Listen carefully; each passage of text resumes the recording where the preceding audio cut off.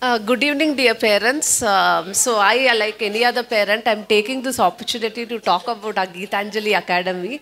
And I'm uh, a proud parent today when our kids outperformed, you know, for that hours of sessions that they were given. So, it is really a proud moment for each. Uh, one of us here. So why I took this opportunity to speak is, you know, like any other parent, uh, see, the academy is quite far for us. So I tend to spend that one hour with the teacher and the kids. I also tend to learn music that one hour of session sitting there. So I personally know how much of effort she is putting in these kids to, you know, actually groom them up and uh, you know to make them great musicians.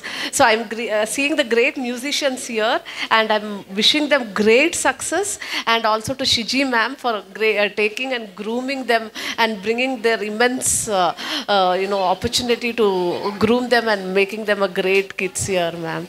So thank you so much for giving me